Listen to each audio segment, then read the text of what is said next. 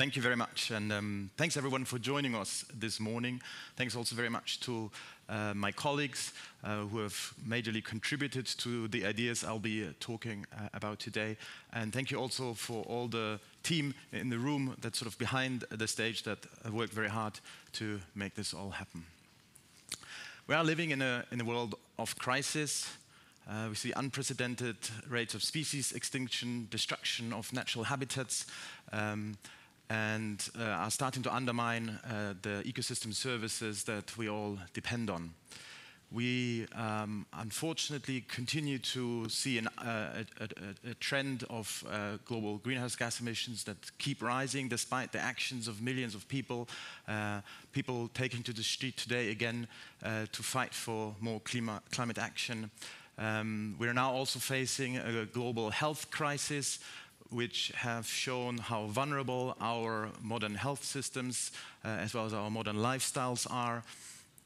And finally, the aftermath of that, we are now facing also an economic crisis with um, economic uh, growth rates sharply declining uh, in many countries around the world, with mass unemployment on the rise in many countries around the world, and with inequalities rising even further as a consequence of this crisis.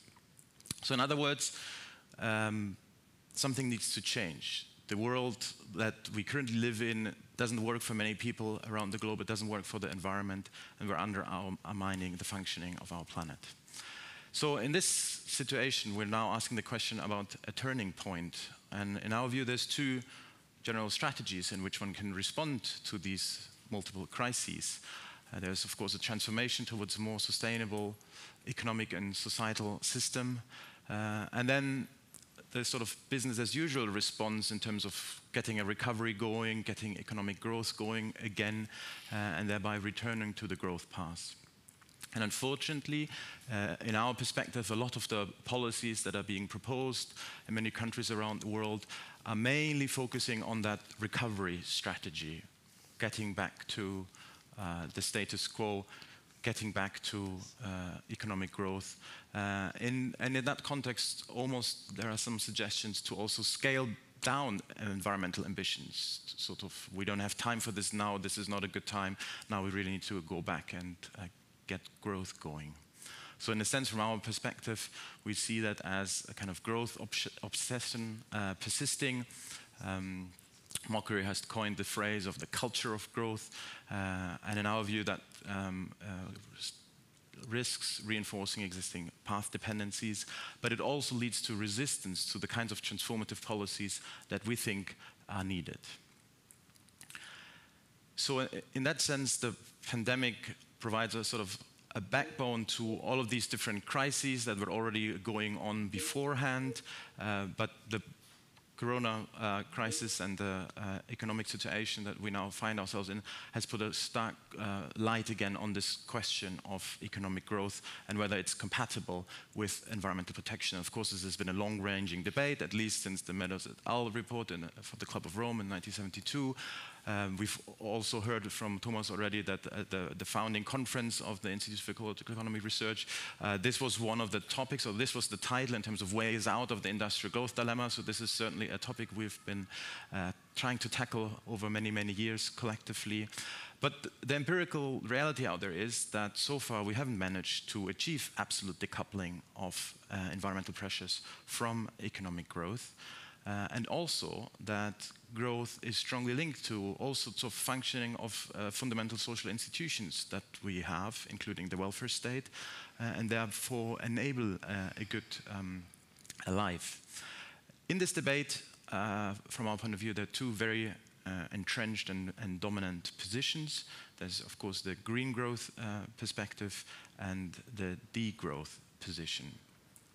And if we wanted to map these uh, two um, positions uh, against two dimensions. One is the question about decoupling. Is decoupling uh, possible to an extent uh, that we uh, live within uh, planetary boundaries?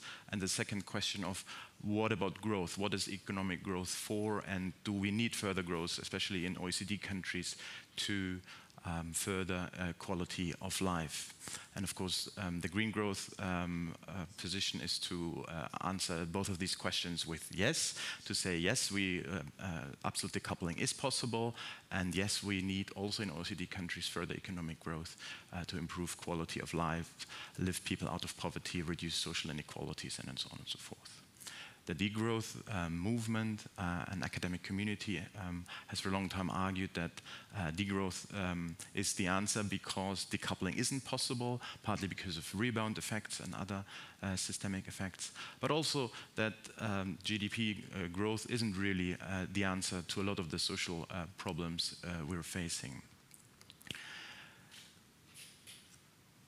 Colleagues here at the Institute have developed a third alternative position, which we call the precautionary post-growth um, position, which basically says we're not sure whether absolute decoupling is possible. So far, there isn't a lot of empirical evidence that this can happen. Um, and also arguing that GDP isn't a good measure of social welfare anyways. Uh, and uh, there are also question marks about whether achieving the environmental ambitions that we want uh, will actually allow economic growth in OECD countries to continue. Uh, and so, from a precautionary perspective, since there is, so this is a common established principle in environmental policy, um, and so from that perspective, um, it is uh, uh, then uh, the right approach to say, because of these uncertainties, uh, we uh, adopt a post growth position so that we're prepared for the future from this position, we've derived sort of four recommendations uh, for policymakers. One is uh, the, a very deep and fundamental cultural change away from this culture of growth that Mokyr described in his book to a culture of sustainability. The second point, uh, environmental economists for a long time have argued that we need to set uh, effective economic framework conditions, sort of uh, internalizing the externalities. So from our point of view, that's surely uh, part of the solution, but only part and not the whole uh, answer to the question.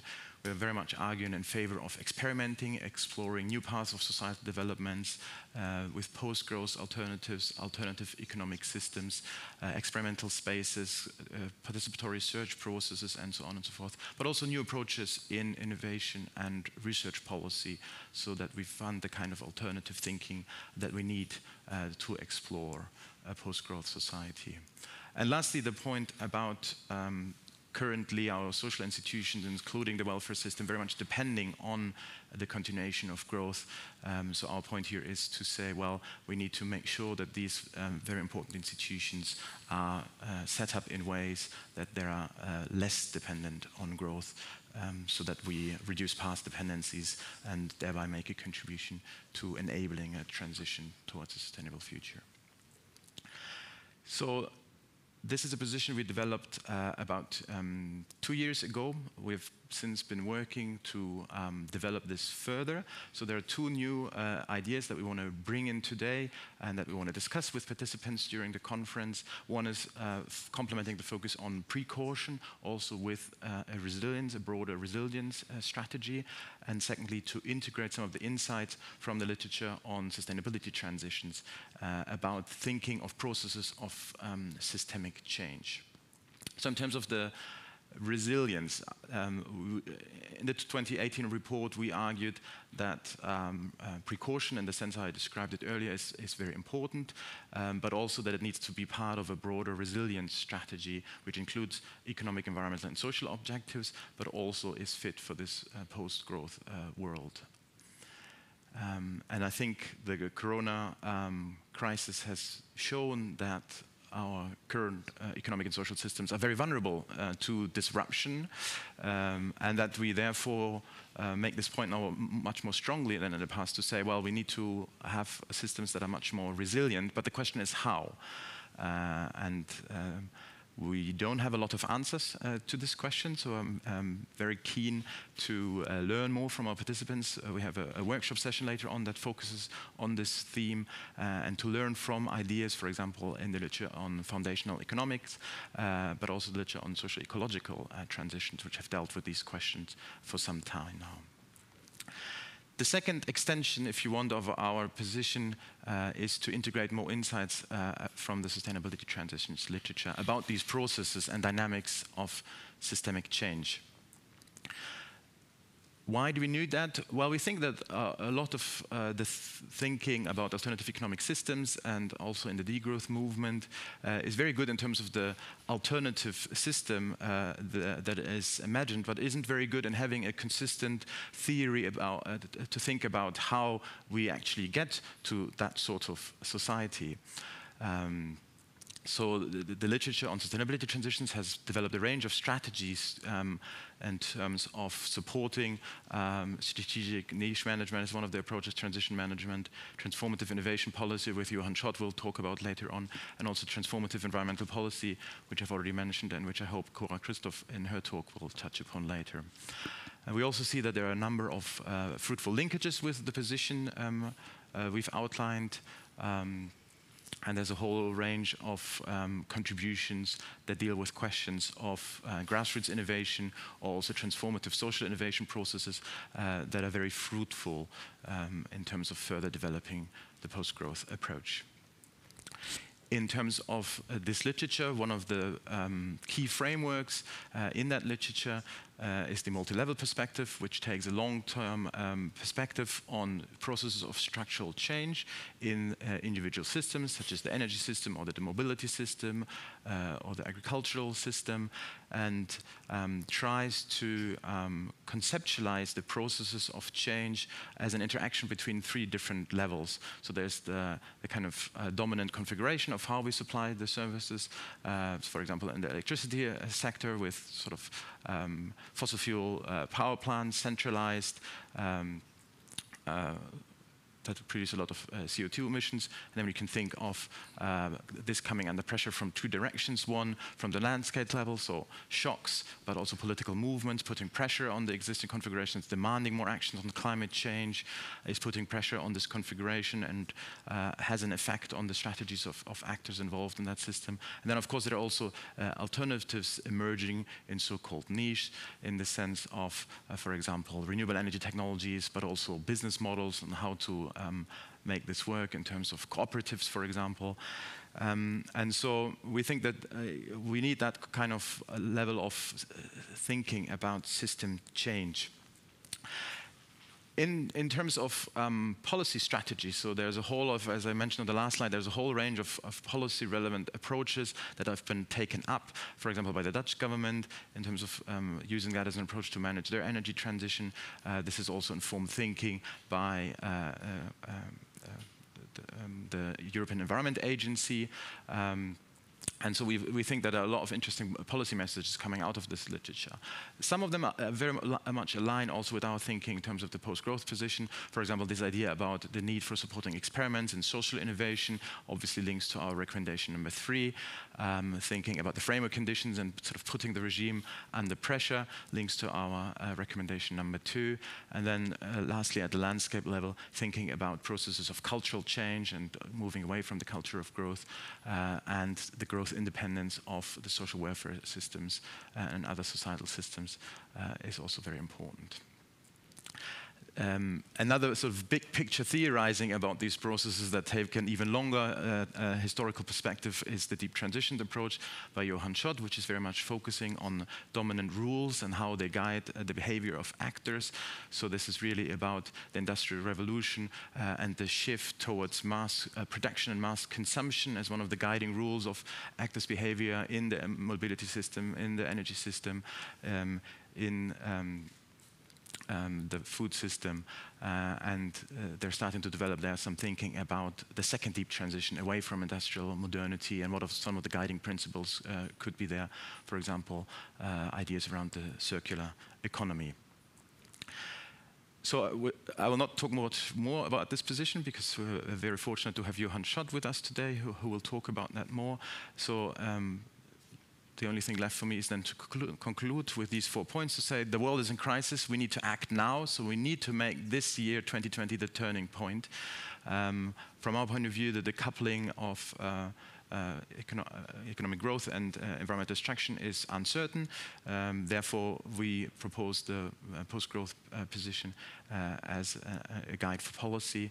Um, we've argued this position um, needs to be further developed with regard to two aspects, resilience, as well as thinking about uh, processes of systemic change through the sustainability transitions uh, perspective.